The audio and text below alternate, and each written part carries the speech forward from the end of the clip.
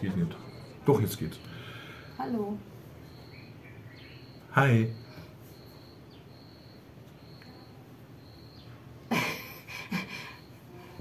Ich begrüße euch. Ich auch. Zwei Mann. So, wir kommentieren wieder eure Kommentare. Und zwar äh, geht es heute um dieses äh, Video. Ich habe euch auch gebeten, äh, reichlich Kommentare zu äh, schreiben, um dieses ähm, Vokabellernen-Video. Ich glaube, das war das erste dann mit den wichtigen Wörtern, was wir halt wissen sollen. Ja, nein, bitte, danke und so weiter. Und da wollte ich einfach eure Meinung mal haben, wie taugt euch das? Ist das so okay? Habt ihr andere Vorschläge? Ja, und das sind eure Antworten nun zu sehen. Der Jen schreibt, gute Geschwindigkeit, ich kann gut folgen und nochmal vielen Dank dafür. Jens, bitte, bitte, sehr gerne. Und äh, ja, freut mich. Ich meine, bei der Geschwindigkeit versuche ich immer irgendwie so rumdumm zu quatschen, ne? dass ich irgendwie noch, dass das länger da stehen bleibt. Ah, Aber ja, ist halt, klappt wahrscheinlich auch ganz gut. Nächster Kommentar. ich gehe dann mal ein Heft und einen Stift kaufen. Das ist ein guter, guter Ansatz. Der Badersohn, das ist unser Oberösterreicher. Ah, okay. Ja, gut, er ist kein Oberösterreicher, aber er ist ein Österreicher. Ja, ähm, ja, gute Idee. Ich komme demnächst dabei, ich weiß, wo du wohnst und dann werde ich mir mal anschauen, wie weit du schon alles mitgeschrieben hast. Jetzt bist du unter Druck.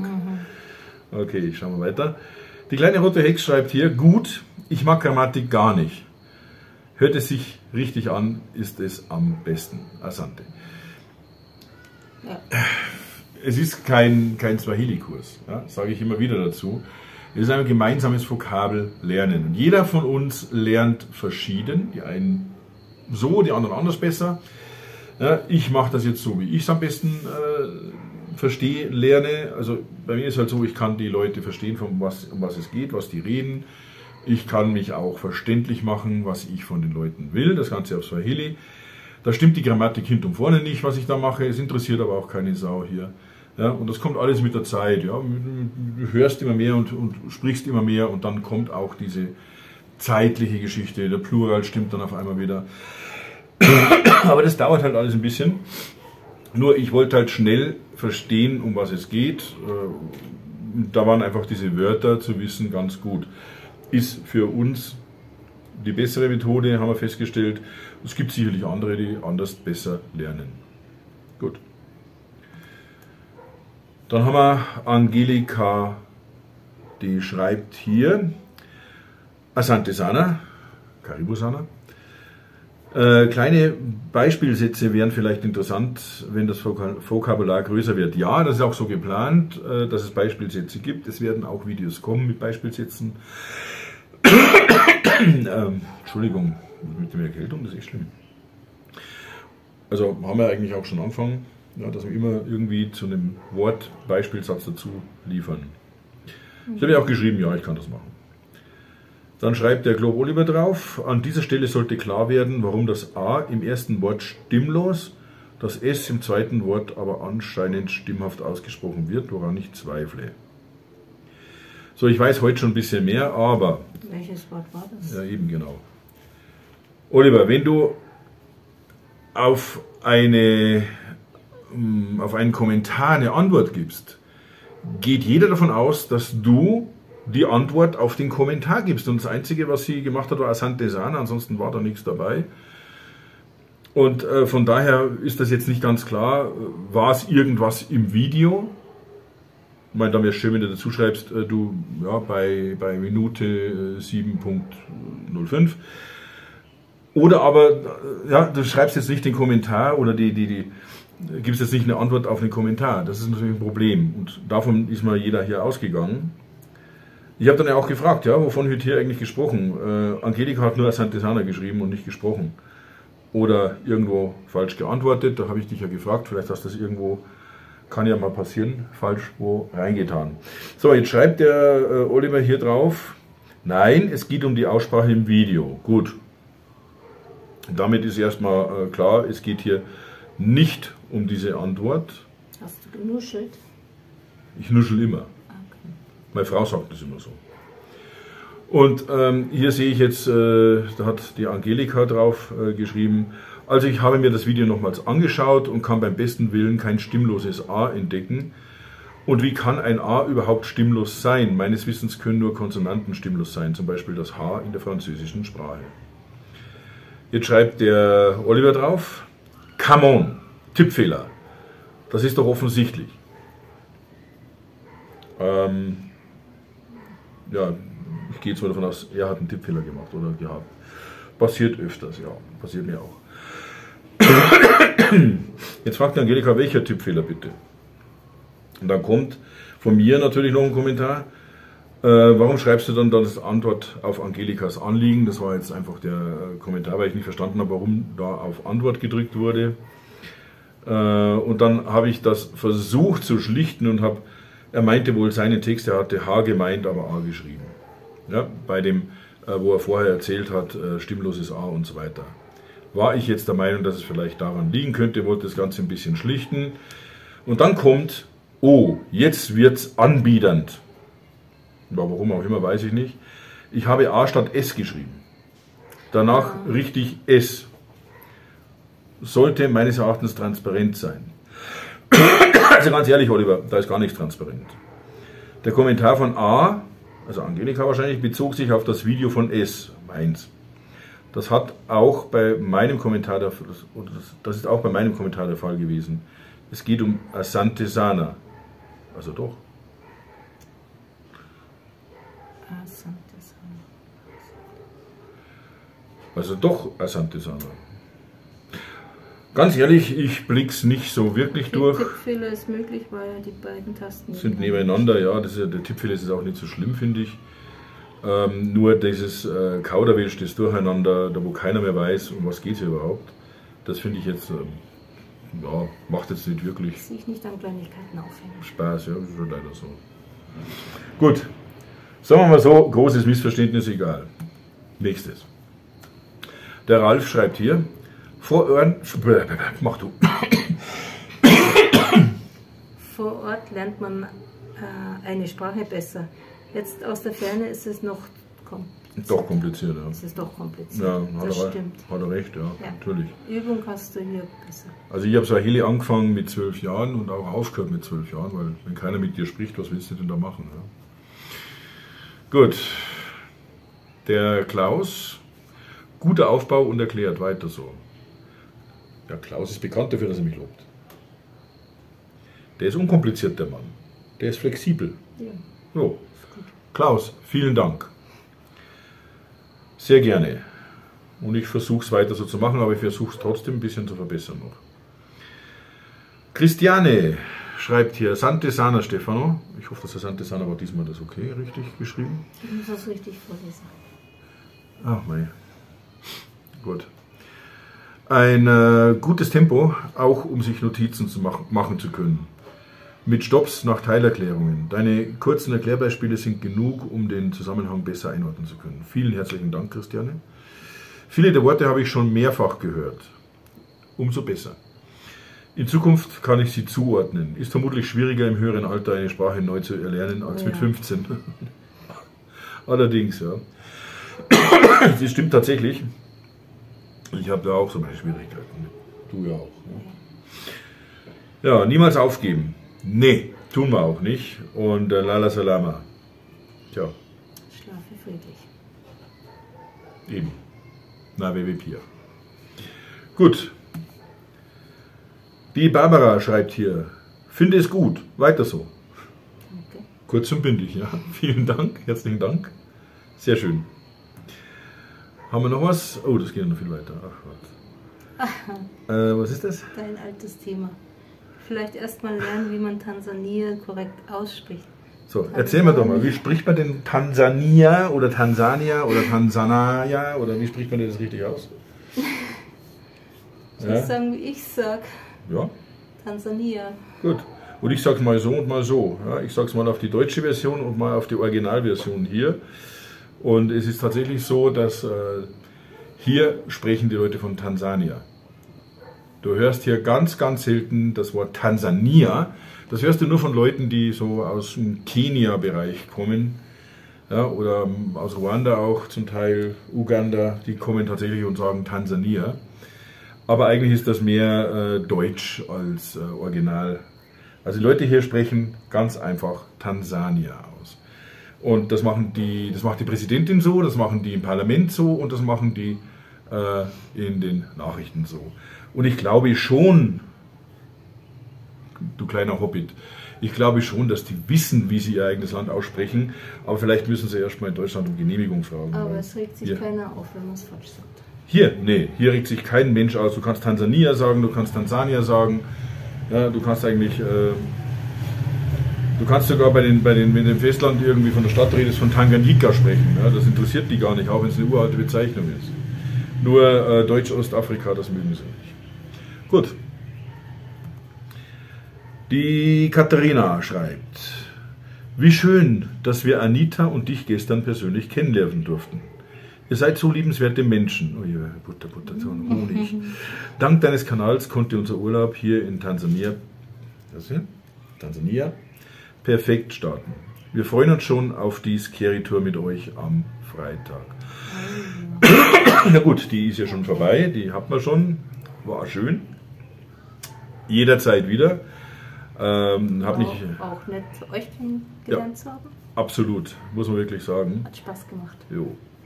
Also, äh, schöne Grüße an den, darf ich den Namen wieder nicht darf ich ihn gar nicht sagen, oder? KH. Schöne Grüße und äh, ich hoffe, dass wir uns wirklich bald wieder sehen, aber hören tun wir uns ja noch. Ja, wir haben ja noch die WhatsApp-Nummern. Ja. Gut. Dann haben wir hier die Rita, was ist da oben? Ah, Dann haben wir noch die Rita. Hallo Stefan, danke für deinen Versuch, uns etwas beizubringen. Ich finde es gut. Versuch ist gut. Ich versuche ja mir selber erstmal was beizubringen. Ein Vorschlag. Wäre es möglich, zu den Wörtern auch deutsche Übersetzung zu schreiben? Dann merkt man es sich besser, weil es noch mehr visuelle Assoziation bietet falls es geht und nicht zu viel Platz im Bild einnimmt. Wir möchten ja schließlich auch dein nettes Gesicht sehen. Also jetzt ganz ehrlich, bei den Vokabeln ist mein nettes Gesicht absolut Nebensache, brauchst du nicht. Und ja, ich kann das machen. Ich mache das auch schon jetzt. Also die, die Videos, die ich jetzt gerade mache mit der Sprache, ich produziere ja immer so ein bisschen vor. Die, die Videos, die jetzt gerade machen, also die haben das schon mit drin. Ja, da, da sind dann schon ein bisschen mehr Informationen drin, auch Deutsch und Swahili nebeneinander oder untereinander. Also das geht und finde auch ein sehr guter Vorschlag. Zwar wieder mehr Schreibarbeit, aber ich finde es trotzdem ein guter Vorschlag. Ja. Machen wir, Rita. So, dann haben wir den Oliver wieder. Der Ansatz, äh, der Ansatz ist wirklich sympathisch. Als Mensch vom Fach, was Fremdsprachenlernen betrifft, muss ich aber sagen, dass dieser Ansatz kaum einen pragmatischen Nutzen haben wird. Muss er auch nicht. Ähm, da du ja ein was? Fachmann bist in die Richtung, warum schaust du dir das an? Lass es doch einfach weg. Ne? Erspar dir das und dann ähm, hast du da weniger Probleme damit. So, äh, die Videos von Stefan, also da kommt jetzt die, die Angela, die Angelika, die schreibt dann drauf, die Videos von Stefan sollen ja kein Sprachunterricht sein, richtig, sondern einen Einblick geben in eine Sprache, die uns Europäern völlig fremd ist. Richtig. Wer mehr will, sollte sich entsprechend Angebote auf YouTube ansehen. Ja, das oder Lehrer nehmen oder wie auch immer. Es gibt da verschiedene Möglichkeiten. Und jetzt kommt etwas, was ich eigentlich schade finde, ja, dass wir immer auf die gleiche Art und Weise diskutieren. Das hat mir gefallen. Mhm. Da gruselt so komisch, weil wir zu dunkel haben. Könntest du dieses das Licht? Das wäre lieb. Danke. Ähm, ja. Äh, jetzt kommt dann, äh, jetzt geht's dann, ups, jetzt geht's dann los mit den, ähm, sich gegenseitig da immer wieder ein bisschen fett zu machen. Ja, und das muss eigentlich nicht sein, von keinem. So, sorry Angelika, das hat Stefan selbst anders angekündigt. Mhm. Einen Einblick könnte man ja leicht auf Wikipedia bekommen, wo es zu Kiswahili und zu Bantu-Sprachen allgemein gute Übersichten gibt. So, ähm, gut, über Wikipedia kann man jetzt verschiedener Meinung sein. Ähm, bei Sprachen mag es funktionieren, ich habe keine Ahnung, ich habe nie reingeschaut in die Richtung. Ansonsten finde ich Wikipedia eins der beschissensten Einrichtungen, die die Welt je gesehen hat. Sehr manipulativ und äh, gerade im politischen Bereich auch. Aber gut, wie gesagt, bei Sprachen kann das funktionieren. Ich habe da keine Erfahrung und kann deshalb auch nichts sagen dazu. Ähm, was mich hier ein bisschen stört, ist, das hat Stefan selbst anders angekündigt. Das hat der Stefan nicht, Oliver. Der Stefan hat nicht angekündigt, dass wir hier jetzt den großen Sprachkurs machen und ihr anschließend äh, das beste Swahili lernt. Das hat der Stefan nie gemacht. Okay. Gut, und äh, ich habe das auch nochmal bestätigt hier dann schriftlich. So. Ja. Und dann kam von der Angelika wieder, das habe ich anders verstanden. Ich habe es ja auch anders gesagt. Im Übrigen ist Wikipedia sicher nicht die beste Quelle, um sich mit einer Sprache vertraut zu machen.